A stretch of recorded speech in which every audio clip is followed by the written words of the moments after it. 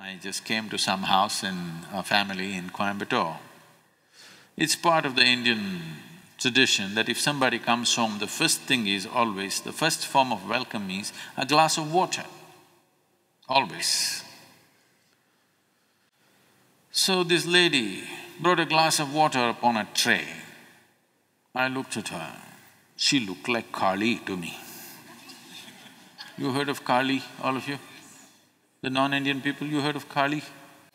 Kali is a terrible form of a goddess, tongue hanging out and blood oozing everywhere and all that. So I said, you're looking like Kali today, I don't want to drink this water.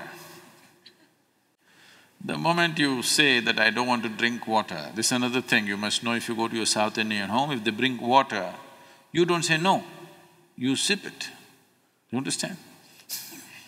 If you say no, they'll get terribly offended that you're refusing to drink water in their house. So now I know another kind of drama will begin. Then I said, okay, you sip the water first. She sipped it and said, That means she thinks I'm using her as a food taster. and she says it's good water. What she means by that is, I have not poisoned it.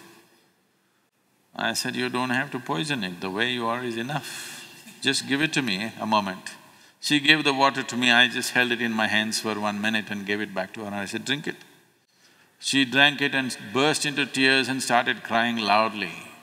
It is sweet, it is sweet, she is crying. I said, that's all it is. This is all your damn life is about. You can either turn this sweet or make it poisonous, it's up to you. That's all it is. So the water today, we know about this in so many ways. In India, tirth, in every temple there's a tirth because water is capable of memory and intelligence. Today, much research has gone into this.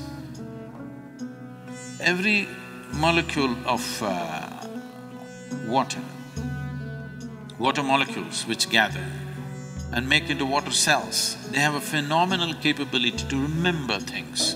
Everything that happens around the water, it remembers. Everything that it comes in contact with, it remembers. It is alive. It is alive and intelligent. Water behaves just about the same way as human nervous system behaves.